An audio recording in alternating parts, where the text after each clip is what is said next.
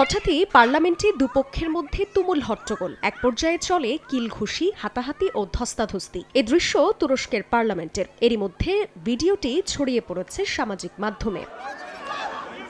শুক্রবার দেশটির কারাবন্দী এক বিরোধী নেতাকে নিয়ে বিতর্কের সময় পার্লামেন্টে মারামারির ঘটনা ঘটে। এদিন বিরোধী দল ওয়ার্কার্স পার্টির এক নেতা ডায়াসে দাঁড়িয়ে কারাবন্দী এক নেতার পক্ষে কথা বলছিলেন। এ সময় ক্ষমতাসীন দল একেপির সদস্যরা তাকে মারার জন্য ছুটে যান। এক পর্যায়ে দুপক্ষের মধ্যে মারামারি শুরু হয়।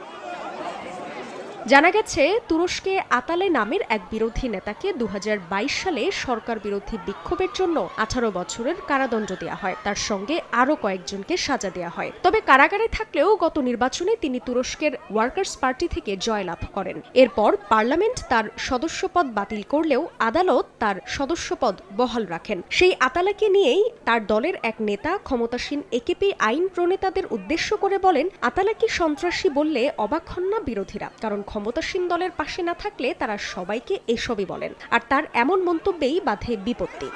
অর্ধেক পাউডারে দ্বিগুণ উজ্জ্বলতা। নতুন রিন অ্যাডভান্সড অর্ধেক পাউডারে দ্বিগুণ উজ্জ্বলতা।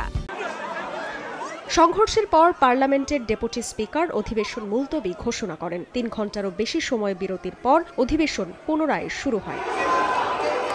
জান্নাতুল সাদিয়া সময় সংবাদ।